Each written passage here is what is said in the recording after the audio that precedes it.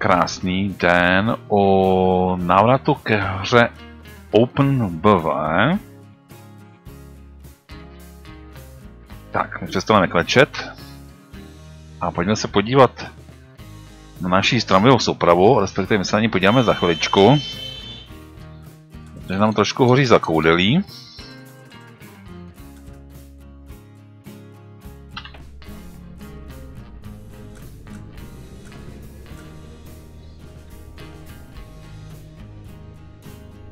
No a prozatím prozatím, že jedeme uh, s tramvají s výrobou ČKD Tatra.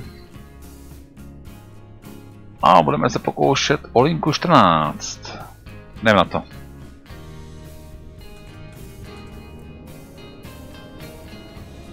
A tam jako se tady podíváme za chviličku.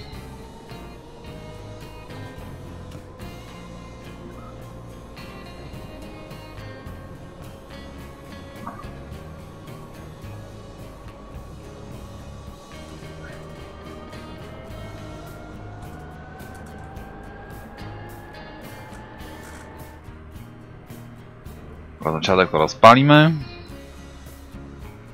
Jsme dohonili to původní spoždění. Jinak, kdyby se vám zvuky zdály podobný jako v klasických KT8, tak ano, měli by mít stejnou elektroniku nebo hodně podobnou.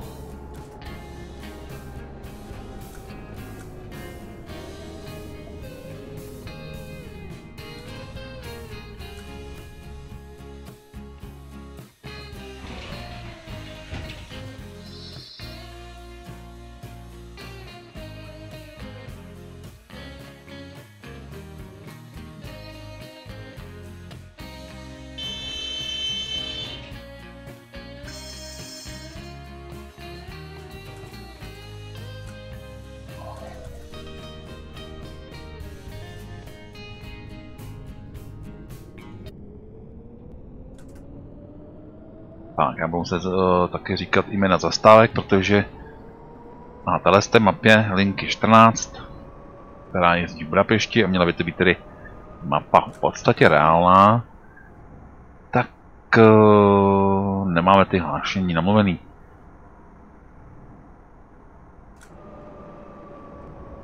No a budeme potkávat uh, samozřejmě protijdoucí vozy z téže linky.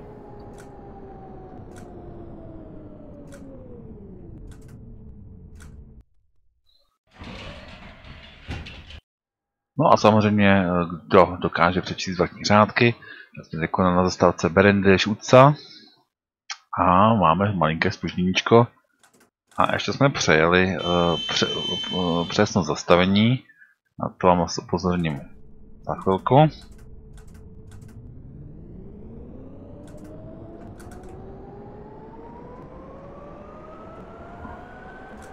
No a vidíte sami, jedeme v zimě, což je pro léto roku 2021 trošku protiklad, ale jak se říká nějaká ta změnička musí být. Jinak kdyby se vám zdálo, že linku 14 potkáváme hodně často, tak ano, je to linka, která jezdí hodně často. A teď, když se podíváte vpravo, tak tam jako zrovna ujela čárka takový grafík, který se schoval, který nám právě ukazuje přesně zastavení a víte, že jsme se jsme zastavili skoro na metr přesně. Zastávka Jarmitlik. Zrcátka bohužel nemáme. A vidíte sami, že moc jako z toho pohledu neuděláme.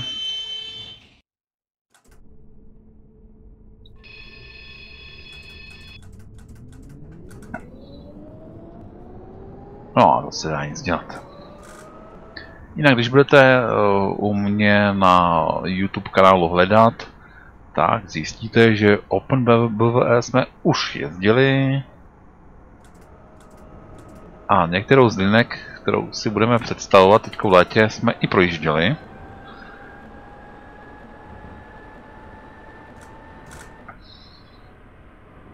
A samozřejmě autoři pokročili dál. Takže zrovna dnešní linka 14, kterou jedeme, tak eh, ji budeme mít v delší verzi. Takže tady jim autor nakreslil prakticky celou. Jinak na rozdíl od... Uh, a už se máme... A už přejdem. Nedá se svítit. A ještě jsme brzdili od prudce, takže nám to tam vynadalo. Ale chtěl jsem říct, že na rozdíl od OMSy si tady to brždění uh, v OpenBVE musíme rozmýšlet. A promýšlet docela dopředu, protože se stává to, co se stává mně, že tady přijíždím.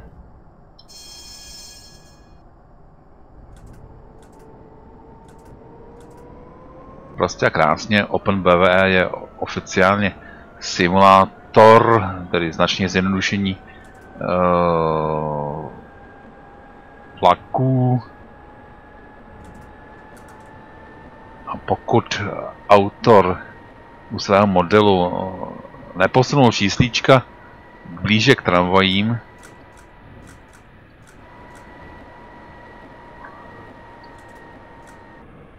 tak uh, samozřejmě je to problém. Jinak vidíte sami, překročil jsem rychlost a ujel jsem to tolika, že jsem dostal minus 9 bodů.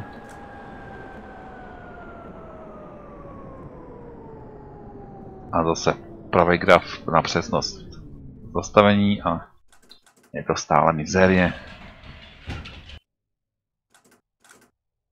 Atletický stadion je naše zastávka, kde jsme teď zastávali.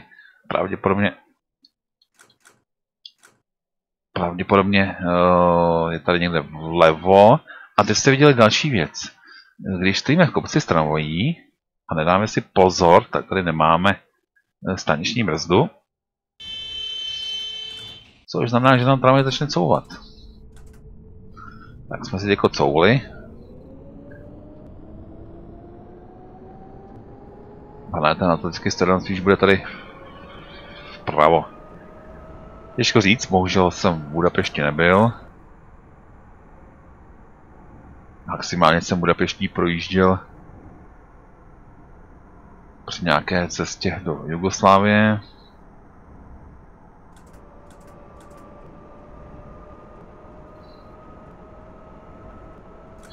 To ještě nějakým okrajem. Tak, co je důležité vědět, tak uh, Vexle jedoucí po hrotu se tady jezdí 30. Já jsem si zpomalil trošku zbytečně víc. A rychlosti se měří uh, na čumak vozu. A hře už je jedno, jak jste dlouhý. Prostě krásně, když se čumákem za výbkou, tak vám to hra uzná. A můžete se rozjíždět úplně šíleně rychle z vyhybek. Tak, další vůz, eh, linky 14. A pokud máte déjà vu, tak jsme opětovně potkali vůz 4038. A ten je tady nakreslený všude. V podstatě jakýkoliv stojící vůz bude 4038. Tak jsme jako zase dostali nějaký šílený body za překročení rychlosti. Tak, padla nám zelená, ale jsme mohli využít. A vidíte sami, že tady máme 25 na sloupku.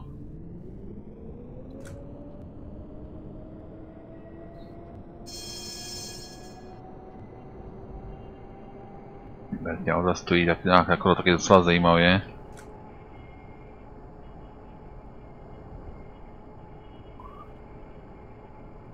A vidíte to sami, jeli jsme 24 a přesto jsme překročili rychlost. Teď pozor, když se rychle podíváte nahoru, tam je značka 30 a sjezdová výbka. To je právě to, co by mělo být právě všude.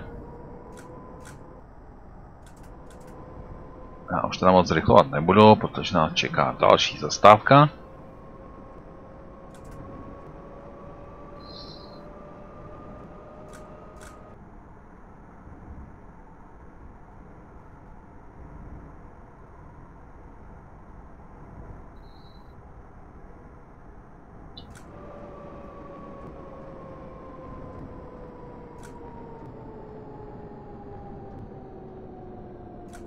No a pokud počítáte zuby, na, na kolik zubů brzdím, asi zjistíte, že teď jsem tam dal čtvrtý stupeň a jak vidíte, cestující nám nekvíkali, že si jim to nelíbí. Když jsme trošku zase přejeli, no to se, dá, to se nedá nic dělat. Jinak zase, kdo má dobrý oči, levý dolní roh, tam vidíte stupně, který jsem tam naházel. Teďko sedmý stupeň na rozjezd.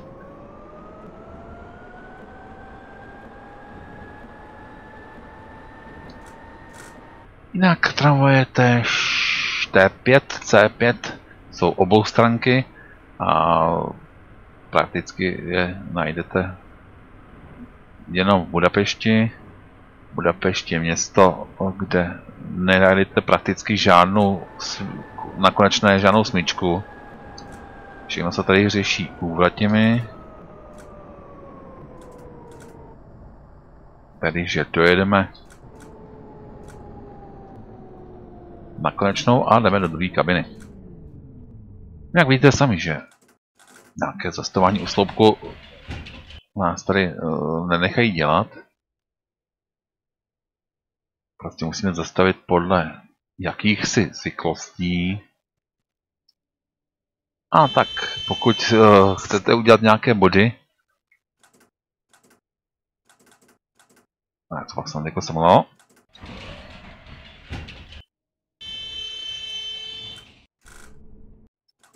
Jsem nechtěl zavřít dveře někde. Tak, teď trošičku na drzačku projedeme skrz v podstatě už červenou.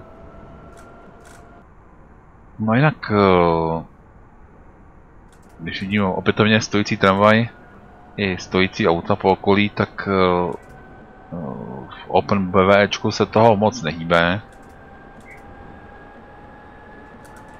Ale když budete hodně pozorní, tak tu a tam před námi nějaká ta tramvaj pojede. No vidíte to, všiml jsem si, uh, jsme překročili rychlost o 2 km, všiml jsem si to docela relativně brzy, ale už nám to taky strhlo body.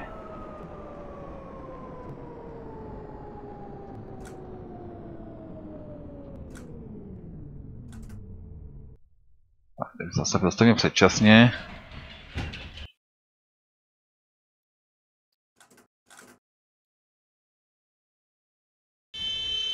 Jinak pokud spěcháte, tak můžete zavírat dveře tady tramvaj na nějaký druhý, třetí sekundě.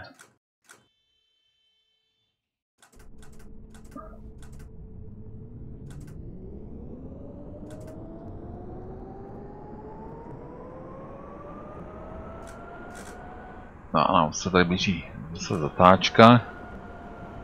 A sníženka tady taky už jako docela svítí. A tady ta sníženka ta je trošku dramatičtější, to je 15 15.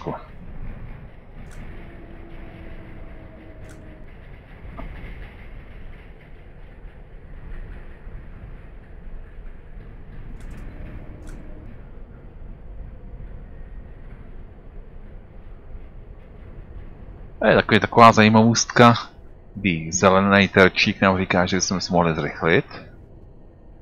Ale v podstatě o dva sloupy dál je 25.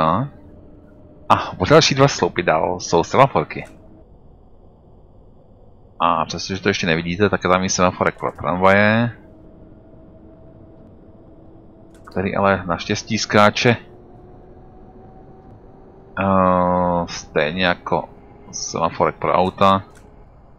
Což je naše jediné štěstí. No a my se blížíme na zastávku, jdeme otvírat levý dveře. Ale teď jsem to trefil hezky. Takhle to má vypadat ty body, tedy 115 bodů za každou zastávku.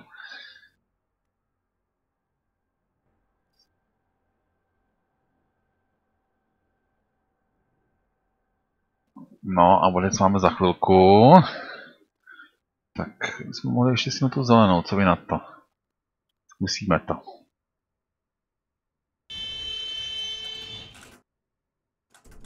No a víte sami, že je to tady na dost ostrý. Naštěstí tady mezi těmi dvěmi zastávkami, což mi připomíná, že jsem zase zapomněl říct název té zastávky, tak tady naštěstí je s tím počítáno. Takže na příští zastávce budeme trošilinku čekat.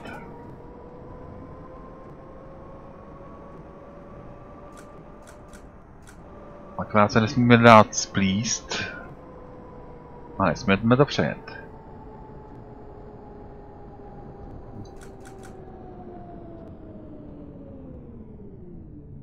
A teď malinko přejedeme, nedá se svítit. A otevřel jsem trošku rychleji dveře, takže na červený nápis otevřené dveře minus jedna a sám vyhuboval.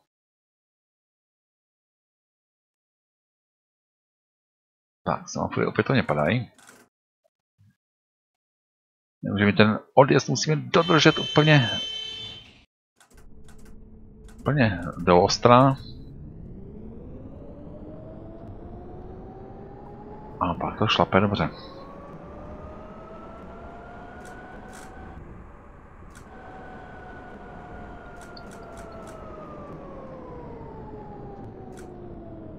No, samozřejmě občas tak takové překvapení nás tady čekají.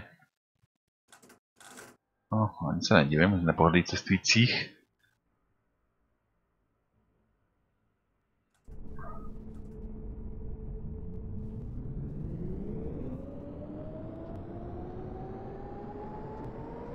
To je právě nevýhoda semaforů, které nejdou se zelenou vlnou.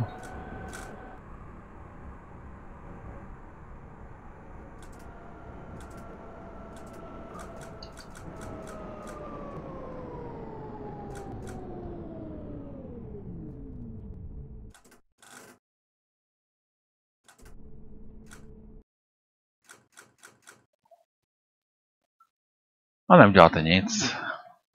A teď mi to teda vypadlo pěkně, když jsem si to zkoušel, tak mi to trošku do jízdy vycházelo líp než teď. To vychází hodně blbě.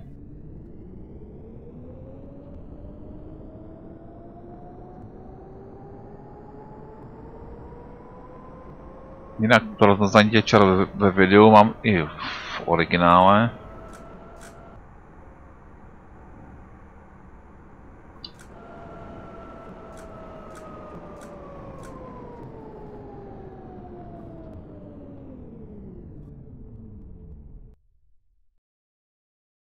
No a dáme si semafory ještě po třetí.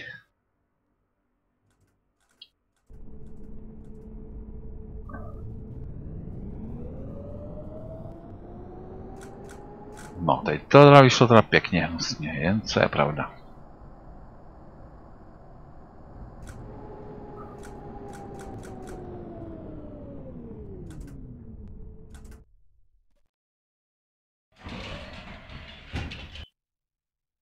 Z toho udělal zase nepřesné přistání. Tak, správně myslím, že čekat na, na ten nápis. Máte povolení k odjezdu. Tel Ulča.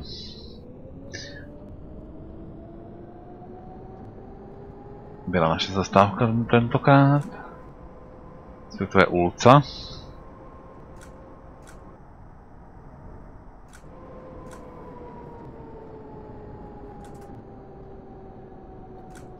Ulca. Jak tohleto místo si zapamatujte, protože přes něj pojedeme také s linkou 14, uh, pardon, s linkou 12.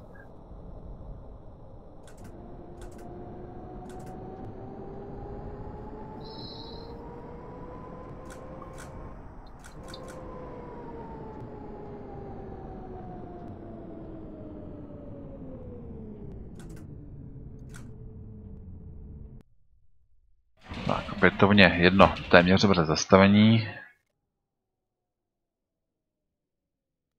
Tady máme semaforek, který nám který sám před náma rozsvítil a zablokoval nám směr rovně.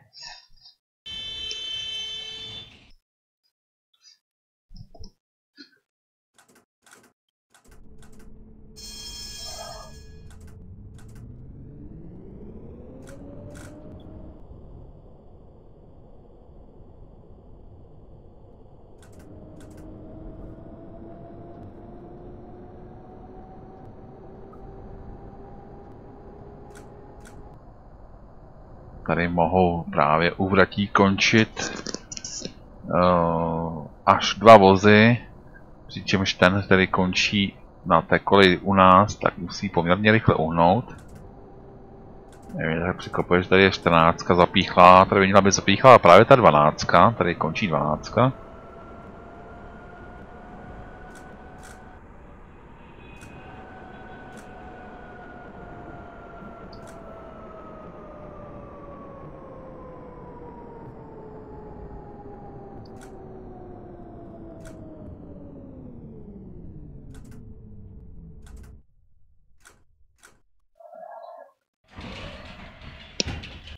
Tak, nenápadně jsme si upravili uh, přistání. Jsme tady stáli nějaké sky. Argiafeld Vasutálomás. Je naše zastávka tady před podjezdem.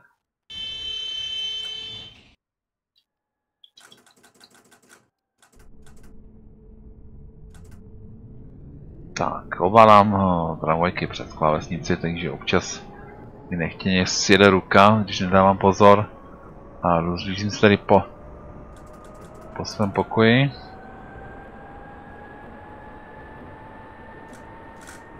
Protože mi tady lítá něco vzdučivého.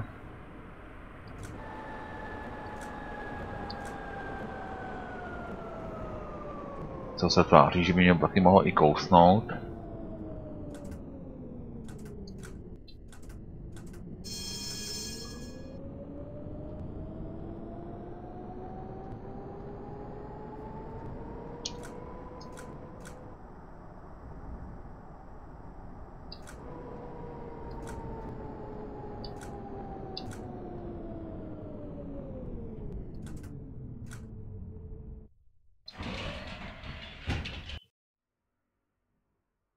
Jo, jo, to otvírání dveří. Musím si na to dát pozor.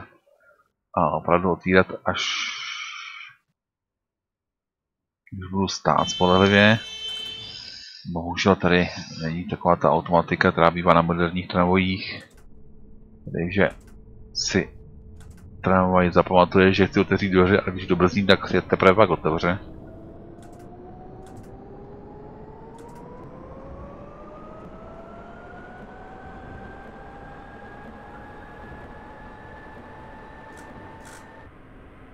Jinak tady zrovna na tom kousíčku trati jsou takové vypečené fintičky. Třeba taková nenápadná zastávka, která je právě zde.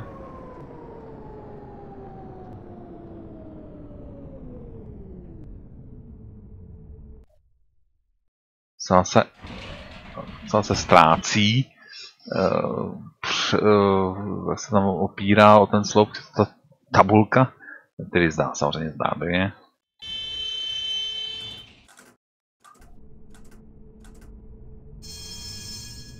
Tak, pozdravíme tady kolegu.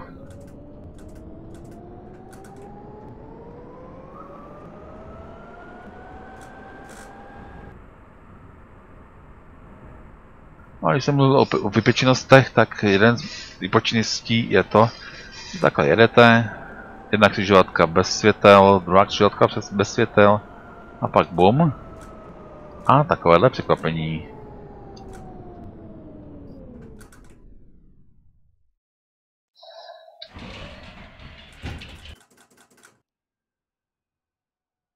No, víte sami, že to kazím, co to jde. Nemám ten grif na zastavování, nemám ho v ruce.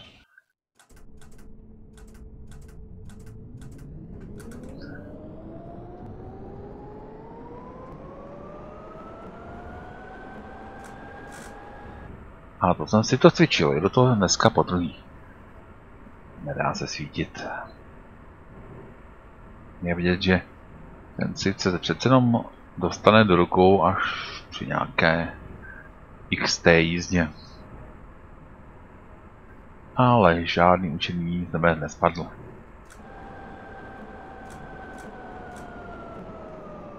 A opět to nás tady vypíkají semafory.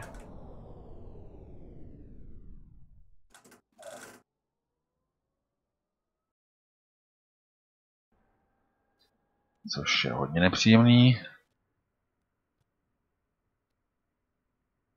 No vidíte sami, tady je semafor jenom pro tramvaje. Zřejmě kvůli tady tomu výjezdu.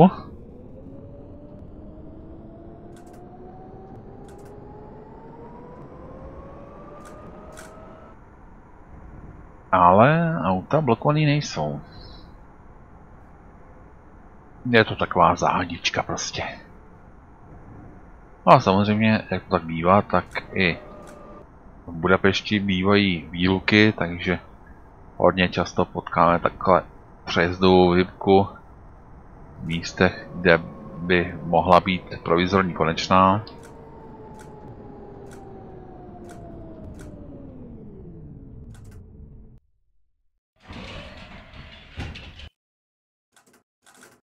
Ne, dneska mi budou prostě nadávat.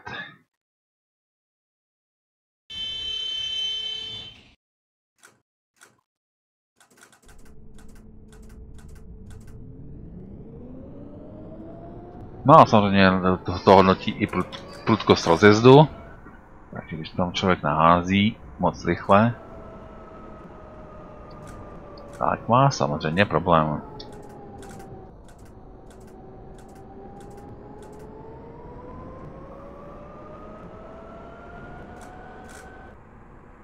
Tady zase máme zpomalovačku. Nebo správně bych měl říkat omezenku. 35 jsem viděl dobře.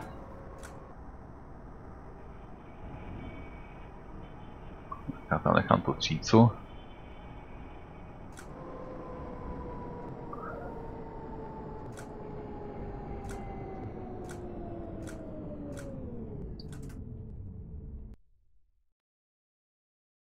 Tak, bohužel trefuju do nesprávný kláves.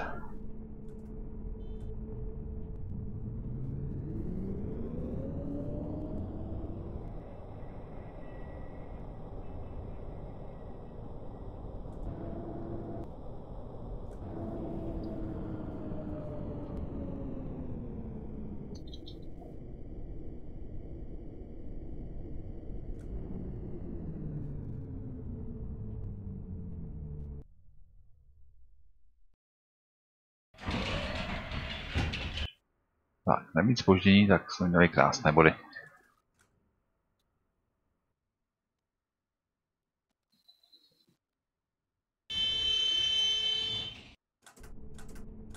Ale samozřejmě, pokud budeme takhle po, po, po zlehonka přistát do zastavek, tak to spoždění vlastně nabereme.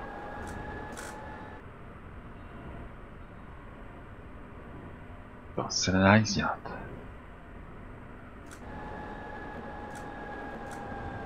Tak, opět tady, tady máme vexle. Máme tady i míjecí šipku, což už jsme taky dlouho neměli.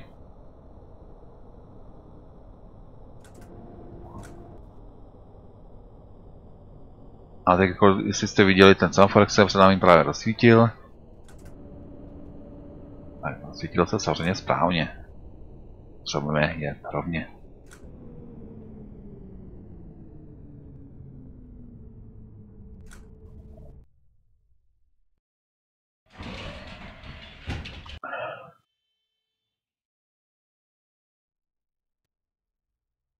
No ale to spoždění s tím budeme muset zkusit něco udělat.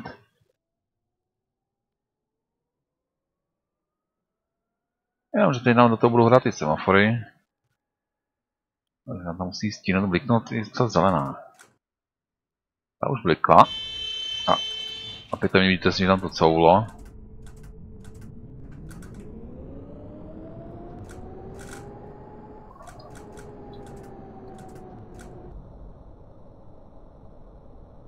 Opětovně jsme nestáli úplně na rovince. No a samozřejmě, jak vznikla tahle chyba, chtěl jsem si ten odjezd urychlit a odbrzdil jsem příliš brzy.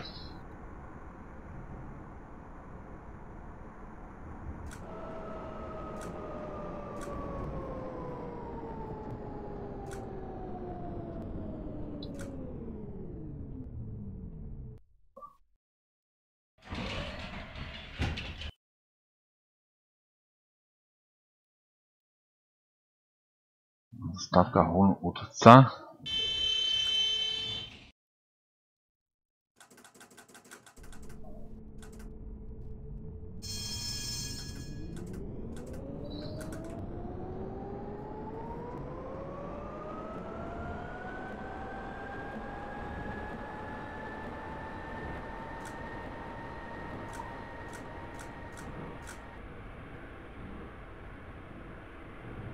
nám zase bude chvíličku čekat takový rovnější úsek.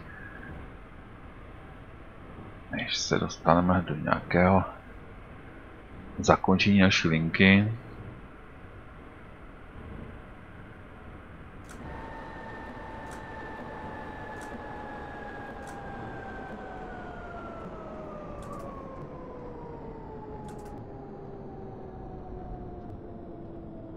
Tak, lideme si omezenku. A, kříž, a je to 25 přes křížení trolejí.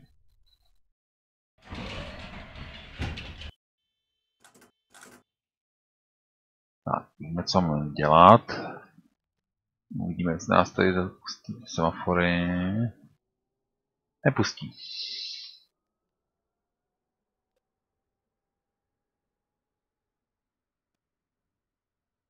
No, sice máme slovat z podjezdu, ale semafory tvrdí, že ne.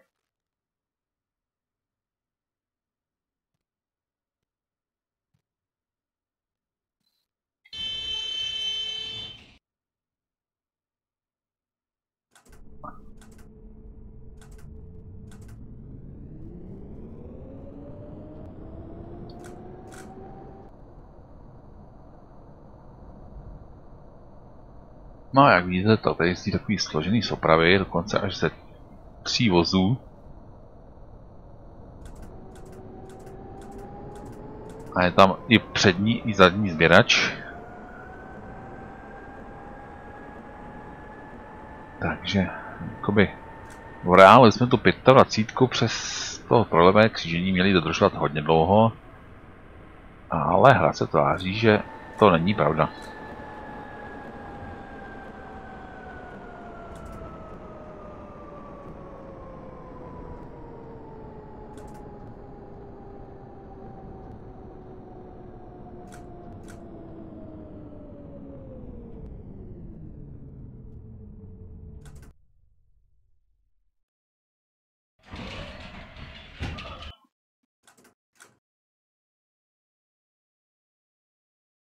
No a jak jsem říkal, nastane nám za chvíli čas.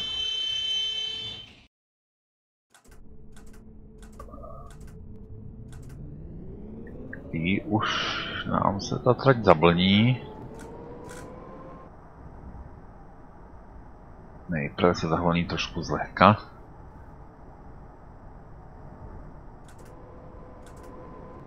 No, se tam padla žlutá.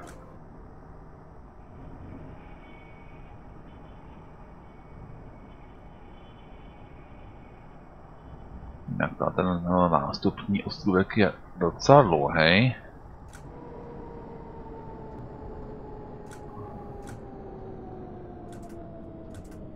A co je důležité, výjimečně ten ostrůvek není pro nás. A je to tím, že jsme na konečné dneska šla levá, No a kdybychom zastavili na, na té zastávce, kterou jsme teda projeli, no logicky, když by bylo na obou kolích plno.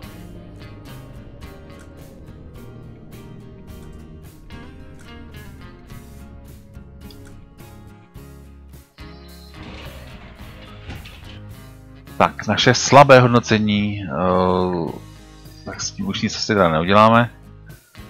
Pojďme se naposledy podívat na tramvaj. No a pokud se vám hra líbila, tak dám pod video odkaz.